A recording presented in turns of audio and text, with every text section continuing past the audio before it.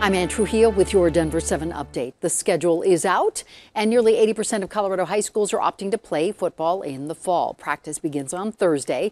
The first game is set for October 8th.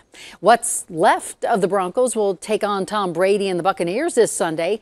Lucky for our guys, they'll have 5,700 fans providing some much needed backup. Denver 7's Russell Haythorne has the story.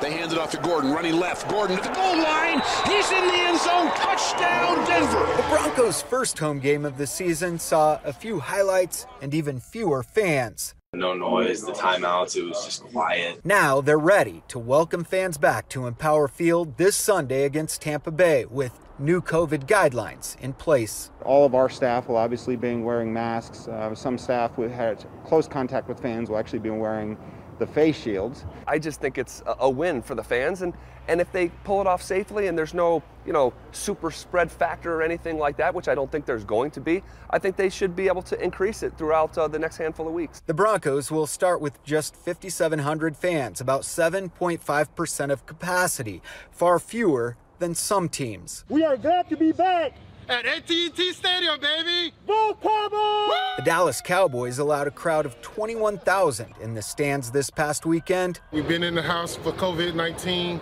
The anxiety is over. Football is back. Go Falcons!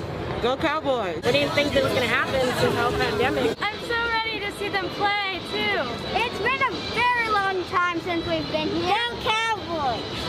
Fans entering the stadium will be required to wear face masks, ticket takers will be wearing gloves, and floor signs in the bathrooms and concession areas will help fans maintain distance. Fans are welcome to come in and out of the out of the stadium bowl and go use the bathrooms, get concessions, and come back. Radio host Zach By says even a few fans could give the Broncos an edge. I remember being a high school basketball player, sometimes the middle school team would come in even those 12, you know, 10 year olds, 11 year olds would spark a fire under guys and they'd be dunking in warm ups as opposed to just laying it up. I think that when we have eyes on us uh, doing our job, probably elevate our performance a little bit more.